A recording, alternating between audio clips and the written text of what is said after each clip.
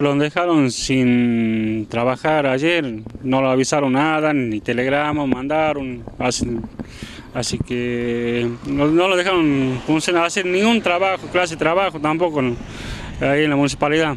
Venía a orden de Guyapima, venían a órdenes.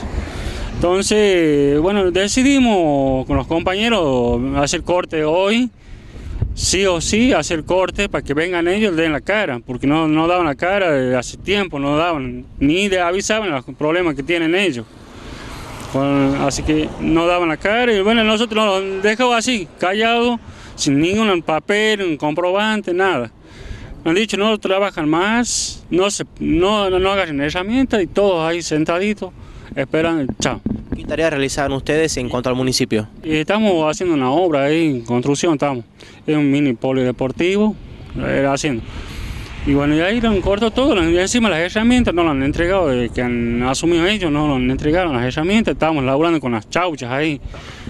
¿Pertenecían un contrato con la municipalidad o con la empresa constructora? No, es con la municipalidad de Guyapima. Sí, ahí estamos en contrato. Y hace un año y siete meses ya. Ayer se cerró el contrato y ayer tienen que firmar sí o sí ayer. Y no, nadie han venido a decir nada.